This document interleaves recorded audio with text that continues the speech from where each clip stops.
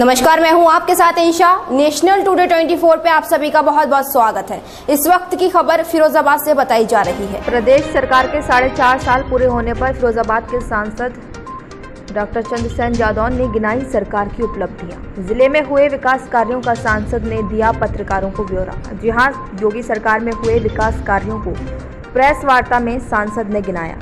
ज़िले में 14 परियोजनाओं में हुए 31 अरब से अधिक के लागत के काम। फ्लाईओवर ब्रिज, बाईपास, सेतु परियोजना, नहर परियोजना, नवीन पेयजल पंचायत भवन आदि भाजपा सरकार की देन। कलेक्ट्रेट सभागार में हुए कार्यक्रम में सीडीओ, चर्चित गौर, नगर आयुक्त प्रेरणा शर्मा सहित जनपद के तमाम विभागों के अधिकारी मौजूद रहे। फिरोजाबाद से ऋषि पंडित की रिपोर्ट।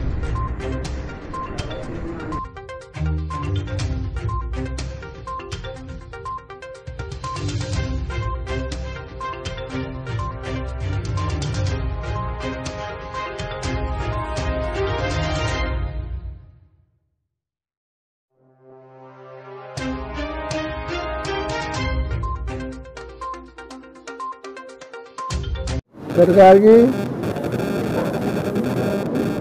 बहुत बेरोजगारी योजनाएँ हैं। जिनका लाभ अगर वह गंभीरता से चिंतन करेगा तो पाएगा।